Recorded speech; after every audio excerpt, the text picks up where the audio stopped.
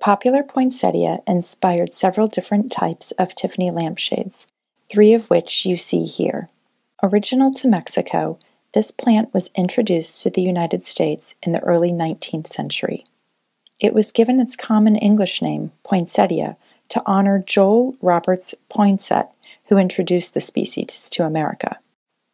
Poinsettias were long associated with the Christmas season, but a special grafting technique was developed in America and caused their popularity to flourish because they became widely available in the American market. It is no wonder then that the Tiffany Studios decided to capitalize on the popularity of this ornamental plant by introducing various poinsettia designs to their line of leaded glass lampshades. The deep crimsons, bold reds, and subtle pinks of the poinsettia lent themselves to interpretation in glass. The two table lamps, when compared with the hanging shade, offer an interesting contrast to the different ways that the poinsettia was interpreted at the Tiffany Studios. The dome shaped shades of the table lamps are encircled by a frieze of poinsettias that have been interpreted in a conventionalized style.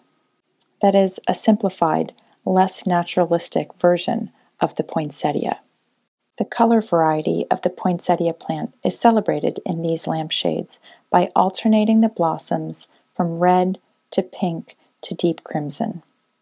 The streaks in the glass simulate the veining of the colorful leaves, and the glass has been selected in such a way where it shades from light to dark as though the sun is breaking over the blossoms. This concept is more fully developed in the poinsettia hanging shade. Whereas the table lamps were made of a repeating design, the design, for instance, repeats three times around the dome shades. The poinsettia hanging shade is a non repeating pattern.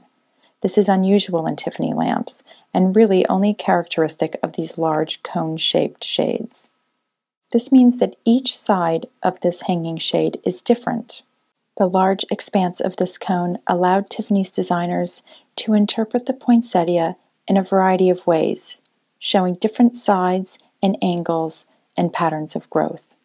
And while the reds and pinks of poinsettias would wane and fade following the Christmas season, these glass gardens would remain ever red and ever true throughout the year.